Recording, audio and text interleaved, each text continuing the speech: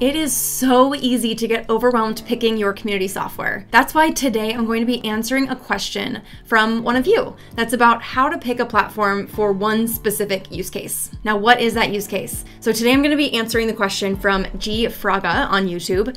Can you think of a good platform offering both a great Q&A for help and support in a community and learning? So webinars, trainings, modules for a course. Which of these platforms have these solutions combined? He says it seems difficult to find a platform that does these two well. Yes, it is difficult to find a platform that does these two well. So I looked through all the platforms that I'm aware of today and started to think about some different ideas around how you could approach this problem, solving it not just with one platform, but maybe solving it through multiple platforms because there aren't a lot of platforms that do both of these things extremely well. So there are essentially three different ways that you can approach this problem. Number one, you can think about going open source, a solution that will allow you to create pretty much anything you want as long as you have the development skills to build it. You can think about doing an all in one platform solution, or you can think about going with two best in class solutions and then combining them and integrating them. First, let's explore what an open source solution would look like. There are two open source solutions that I recommend you look at. Number one at discourse.org and number two at Platform OS. Both of these are going to give you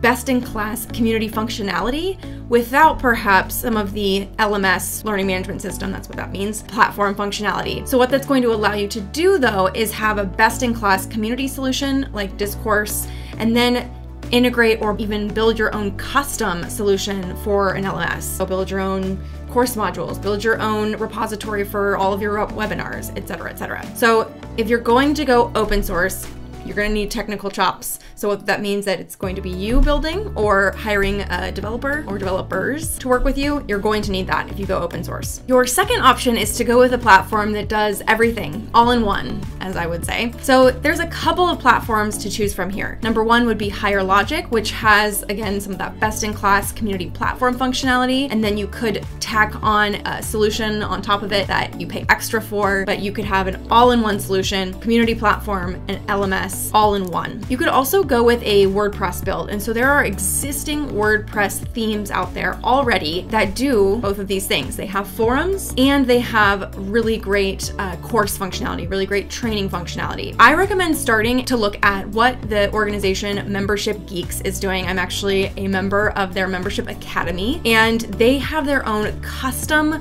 WordPress theme that allows for asynchronous communication, calendaring, road mapping for courses and hitting milestones and missions with your students. It's actually really, really cool. So you can get that platform without building it all from scratch yourself by joining their membership program. But there are tons and tons of other themes out there that you can explore. Another platform that is all in one that's going to be a little bit less technical is called Dream See Do. And this platform is an all in one solution that primarily focuses on the education aspect, but also has all kinds of functionality like private messaging and uh, a timeline for your students so that you're really getting both the educational and the social interaction components in one. Now, this platform, as far as I know today, is really focused on wellness brands and thought leaders, educators in the space. So, depending on where your niche is, it may or may not be a good fit for you, but check it out. And then the last one I would recommend looking at is Mighty Networks. So, Mighty Networks is a platform that was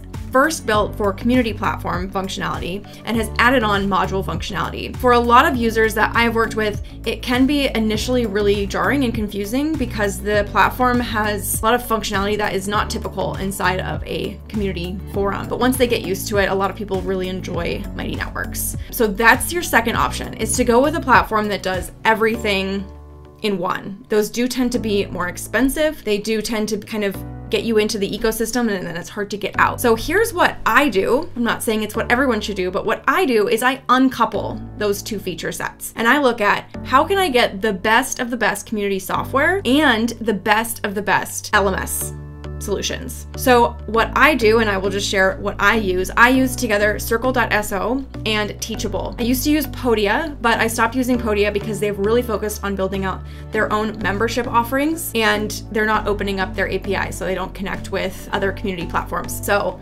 if you're listening to this, and anyone at Podia, let's talk. But Podia is one you actually might want to consider as an all-in-one, but it doesn't have all the community functionality that you might want as an instructor. So I personally find that Circle is a really good uh, fit for my audience, and Teachable integrates directly with Circle, and I can create automations uh, within Teachable based on activity within Circle, and I can track um, completion and things like that of different modules and different videos. So, and then that can go into how I think about engaging my students. So those are the three different ways you might think about this. Open source, all in one, or uncoupling it and looking at the best of both worlds. So I hope this is helpful for you. If you have any further questions, I am always down to answer them. Happy community building, everybody.